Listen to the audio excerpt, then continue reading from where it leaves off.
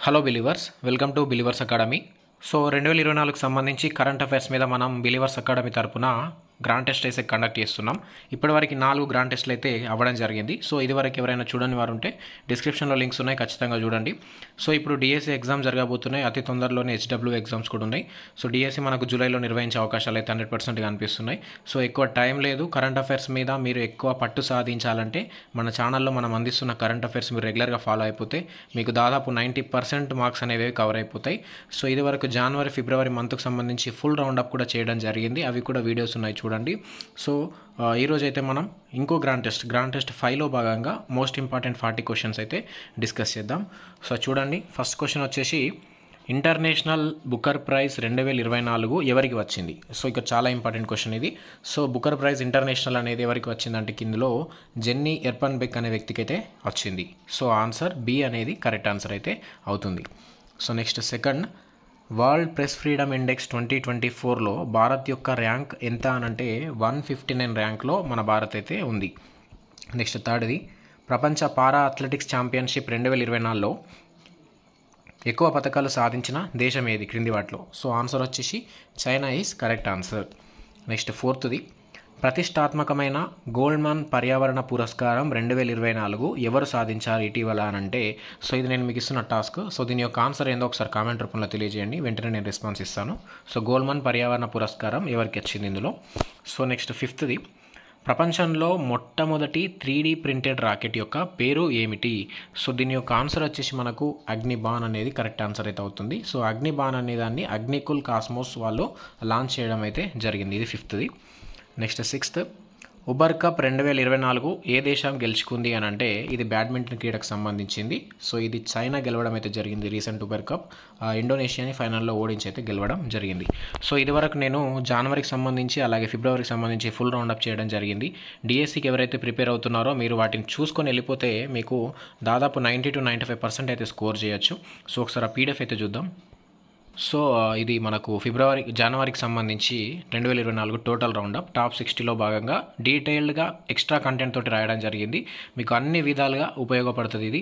Science and technology కానీ sports జాతీయం అంతర్జాతీయం మనకు వార్తల్లో వ్యక్తులు కానీ ముఖ్యమైన దినోత్సవాలు. సో ఈ విధంగా ప్రతి విషయం మీద టాపిక్ వైజ్గా ఇక్కడ రాయడం అయితే జరిగింది. మీరు నోట్స్ కూడా మీరు ఏ విధంగా అయితే చదువుతారో ఎక్స్ట్రా ఏం అవసరం లేకుండా ఎగ్జామ్ పాయింట్ ఆఫ్ వ్యూలో తయారు చేసిన పీడిఎఫ్స్ ఇది.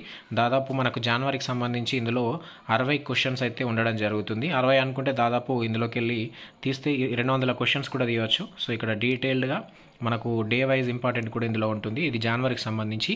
ఫిబ్రవరి చూద్దాం ఒకసారి. సో ఇది ఫిబ్రవరి ఫిబ్రవరికి సంబంధించింది. ఇందులో మనం టాప్ సెవెంటీ ఫైవ్లో ఫిబ్రవరిని కవర్ చేశాం. ఇందులో కూడా అన్ని అంశాలపై పట్టు సాధించేలా ఉంటుంది. ఒకసారి మీరు ఈ పీడిఎఫ్ని అయితే పొంది చూడండి. హండ్రెడ్ పర్సెంట్ అయితే స్కోర్ చేయొచ్చు. రీసెంట్గా జరిగిన గ్రూప్ వన్ ఫిలిమ్స్లో కూడా దాదాపు మన జనవరికి సంబంధించి పీడిఎఫ్ నుంచే మూడు నుంచి నాలుగు క్వశ్చన్స్ అయితే వచ్చాయి. హండ్రెడ్ పర్సెంట్ అనేది కవర్ అవుతుంది మీకు. ఇది కూడా చూసుకోండి. ఇది టాప్ సెవెంటీ ఫైవ్లో మీరు చూడవచ్చు. ఇక్కడ చూసుకుంటే డెబ్బై ఐదు వరకు ఉంటాయి. ముఖ్యమైన దినోత్సవాలు కూడా రాసి వాటి యొక్క థీమ్స్ కూడా ఇందులో రాయడం జరిగింది. హండ్రెడ్ పర్సెంట్ అయితే ఉపయోగపడుతుంది. అలాగే ప్రీవియస్ ఇయర్ రెండు వేల ఇరవై మూడుకి సంబంధించి రౌండ్ అప్ అనేది డిఎస్సికి ఉపయోగపడేలా అలాగే గ్రూప్ వన్ ఫిలిమ్స్కి గ్రూప్ టూ త్రీకి కూడా ఉపయోగపడేగా తయారు చేయడం అయితే జరిగింది. ఇందులో వంద నాలుగు పేజెస్ తోటి ఉంటుందండి ఇది రెండు వేల ఇరవై మూడు రౌండ్ అప్ దాదాపు మూడు నుంచి నాలుగు వందల క్వశ్చన్స్ అయితే ఇందులో ఉంటాయి. ఇందులో మీరు చూసుకుంటే ఫస్ట్ క్వశ్చన్ మన గ్రూప్ వన్ ఫిలిమ్స్లో వచ్చింది. కాప్ ట్వంటీ సిక్స్ ఇటీవల ఎక్కడ జరిగిందంటే గ్లాస్ గో స్కాట్లాండ్ అని. అంత ముఖ్యమైన పీడిఎఫ్ ఇది. సో ఇది ఇంతకుముందు జనవరి ఫిబ్రవరిది అలాగే డిఎస్సికి సంబంధించి సోషల్ కంటెంట్ పీడిఎఫ్ కూడా ఒకసారి చూద్దాం. సో ఇది డిఎస్సికి సంబంధించింది. మనకు థర్డ్ నుంచి ఇంటర్ లెవెల్ వరకు క్వశ్చన్స్ అనేది టెక్స్ట్ బుక్ వైజ్గా తయారు చేయడం జరిగింది. ఇందులో మనం చూసుకుంటే రెండు వందల వరకు అయితే బిట్స్ ఉంటాయి. మనకు స్వాతంత్రం వచ్చే వరకు సిద్ధించే వరకు కూడా కొన్ని ఇంపార్టెంట్ క్వశ్చన్స్ అయితే ఇందులో రాయడం అయితే జరిగింది. సో ఈ పీడిఎఫ్స్ అన్నీ మీరు పొందాలంటే మీరు చూసే వీడియో కింద.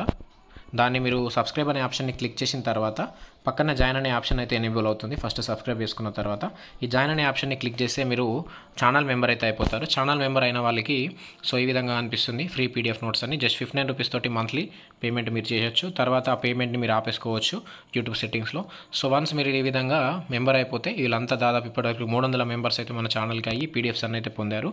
సో వెంటనే ఆలస్యం చేయకుండా జాయిన్ అవ్వండి. డిఎస్సి కూడా ఎక్కువ రోజులు టైం లేదు. హెచ్డబ్ల్యూ కూడా ఎక్కువ రోజులు టైం లేదు. సో ఇప్పుడే పీడిఎఫ్స్ అయితే పొందండి క్లాస్లోకి వెళ్దాం. సెవెంత్ క్వశ్చన్ చూడండి ఒకసారి. ప్రపంచంలోనే అత్యంత లోతైన బ్లూ హోల్ని శాస్త్రవేత్తలు ఏ దేశంలో కనుగొన్నారు అని అంటే దీని యొక్క ఆన్సర్ వచ్చేసి మెక్సికో ఈజ్ కరెక్ట్ ఆన్సర్. అలాగే ఎయిత్ మంగళయాన్ టూ మిషన్ను లాంచ్ చేయడానికి ఏ రాకెట్ను ఉపయోగించనున్నారు?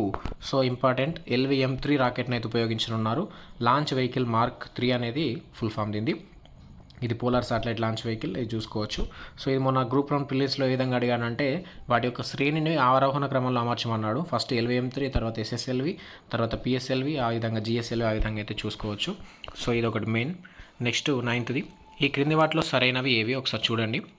ఫస్ట్ది ఇంటర్నేషనల్ సోలార్ అలయన్స్ను రెండు వేల పదిహేనులో ప్రారంభించారు. అలాగే ఐఎస్ఏ ఇంటర్నేషనల్ సోలార్ అలయన్స్ అంటే ఐఎస్ఏ. దీనిని భారత ప్రధాని నరేంద్ర మోదీ ప్రారంభించారు. అలాగే ఐఎస్ఏ డైరెక్టర్ జనరల్ ఇప్పుడు అజయ్ మథూర్. ఐఎస్ఏలో తొంభై తొమ్మిదవ సభ్య దేశంగా చేరిన దేశం స్పెయిన్.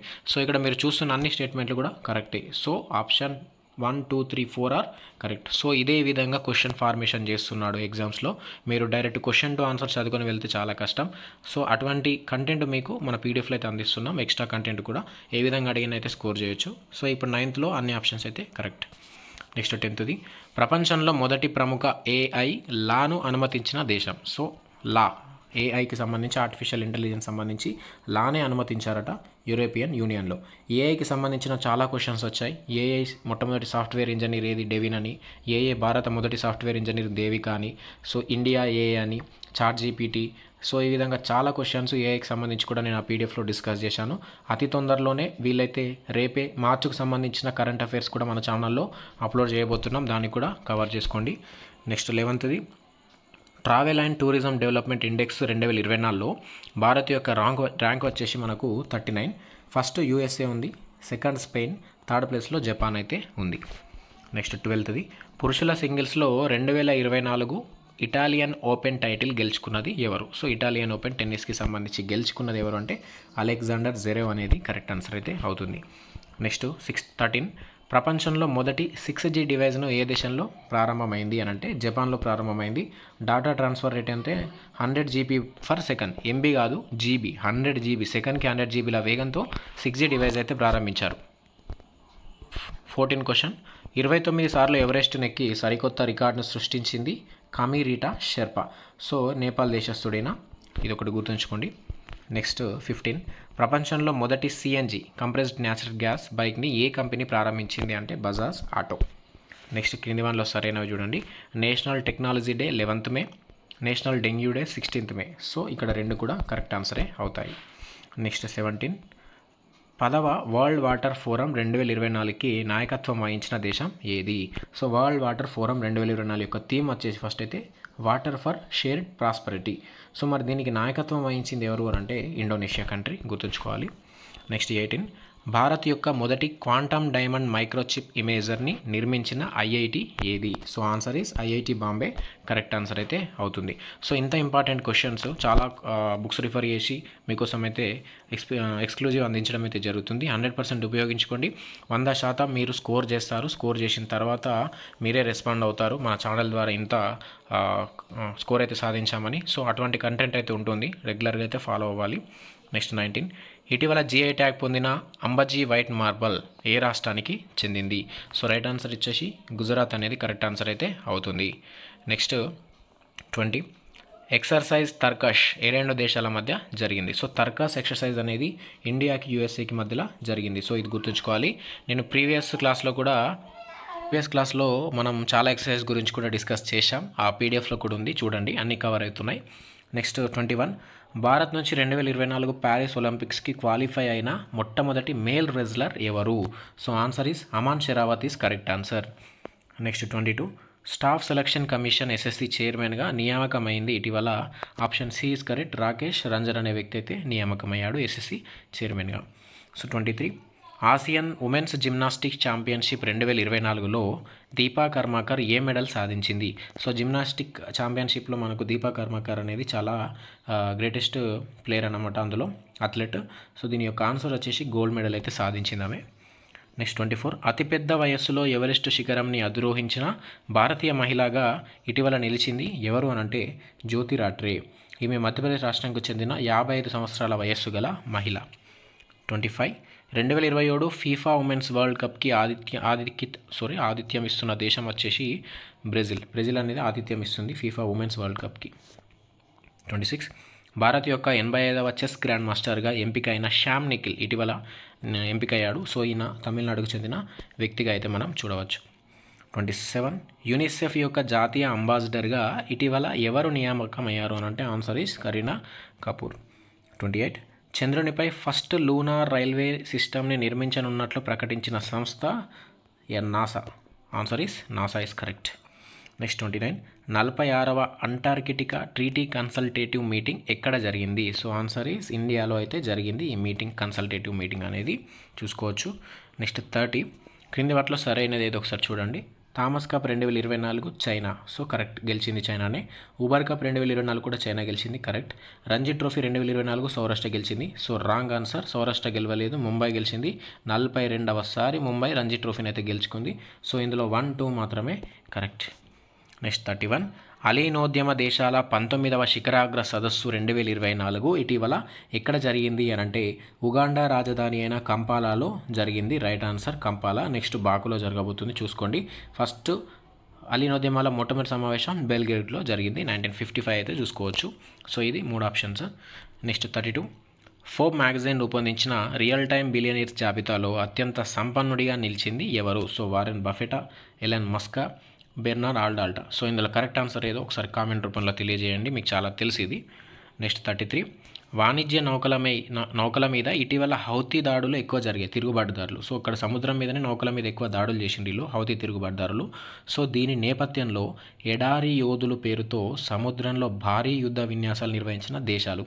సో వాళ్ళకి ఒక ఏమంటారు ఒక దమ్కి ఇచ్చే విధంగా ఎడారి యోధులన్న పేరుతో యుద్ధ విన్యాసాలు అయితే నిర్వహించారు. ఆ దేశాలు ఏంటి అంటే ఫ్రాన్స్ యుఏఈ భారత్. సో ఈ మూడు దేశాలు అయితే ఎడారి యోధులు అనే పేరుతో భారీ యుద్ధ విన్యాసాలు అయితే నిర్వహించాయి. Next thirty four. ఇటీవల ఐఐఎల్ స్వస అంటే దీనికి సంబంధించి స్వతంత్రంగా అభివృద్ధి చేసిన తొలి హెపటైటిస్ ఏ టీకా ఏది? So Indian immunology organisation something ఉంటుంది ఇది ఐఏఎల్ ఫుల్ ఫామ్. సో ఈ తొలి హెపటైటిస్ టీకాని అయితే ఐఏఎల్ తయారు చేసింది. దాని పేరు వచ్చేసి హవిష్యూర్ అనేది అయితే గుర్తుంచుకోండి. B is correct. Next thirty five. Public examinations bill రెండు వేల ఇరవై నాలుగు లోక్సభలో ఎప్పుడు ఆమోదం పొందింది? సో ఆన్సర్ ఈస్ ఫిబ్రవరి ఆరు నాడు ఆమోదం పొందింది లోక్సభలో రాజ్యసభలో ఫిబ్రవరి నైన్ నాడైతే ఆమోదం పొందింది. ఎటకేలకి బిల్లు అయితే పాస్ అయింది. ఈ బిల్లు ప్రకారం ఎటువంటి లీకేజెస్ జరిగినా ఎటువంటి కుంభకోణాలు జరిగినా వాళ్ళకు చట్టపరంగా కఠినమైన చర్యలు అయితే ఉంటాయి. ఆ లీకేజ్లో పాల్గొన్న సంస్థలకు కూడా కఠినమైన చర్యలు అయితే ఉంటాయి. సో బిల్ అయితే పాస్ అయింది. సో మనకు రీసెంట్గా నీట్ ఎగ్జామ్ అనేది లీక్ అయింది అనే విషయాలు కూడా బయటకు వస్తున్నాయి.